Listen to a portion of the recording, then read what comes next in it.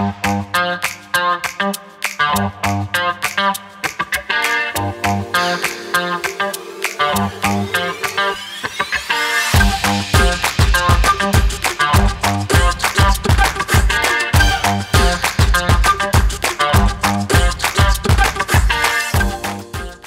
Merhaba, ben Alperen Fatih Yolcu.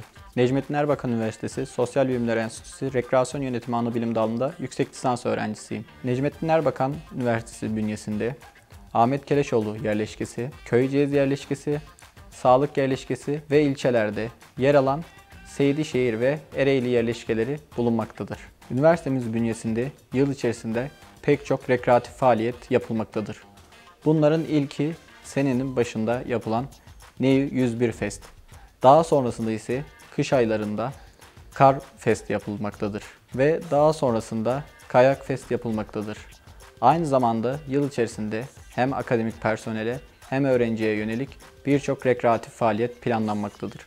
Bu faaliyetler doğa temelli faaliyetler ve rekreatif faaliyetlerdir. Üniversitemiz bünyesinde merkezi kütüphane ve spor kompleksi bulunmaktadır ve bunlar yapım aşamasındadırlar. Özellikle öğrenci toplulukları üzerinden yapılan etkinliklerden yıl içerisinde birçoğuna katılarak kendimi birçok alanda geliştirme fırsatı buldum. Ve ayrıca üniversitemizin e-kütüphanesinde yıl içerisinde yayınlanan kaynaklardan yararlanmaktayım. Bunlara ek olarak üniversitemiz yerleşkelerinde bulunan yemekhanelerden yararlanmaktayım. Üniversitemiz bünyesinde ulusal ve uluslararası pek çok kongre ve konferans düzenlemektedir.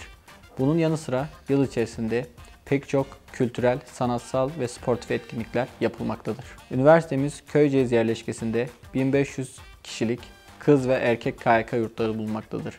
Ve bunlara ek olarak merkezde farklı KYK yurtları ve özel apart ve yurtlar bulunmaktadır. Konya'nın Türkiye'nin merkezinde olması ve pek çok ulaşım imkanının var olması Konya'yı öğrenciler için daha cazip kılmaktadır. Tüm kampüslerimize toplu taşıma araçları ile kolay ve uygun fiyatlar ile ulaşabiliyoruz. Konya'da yıl içerisinde pek çok ulusal ve uluslararası organizasyon ve festival düzenlenmektedir. Bunları kaçırmamanızı tavsiye ederim. Necmettin Erbakan Üniversitesi geleceğin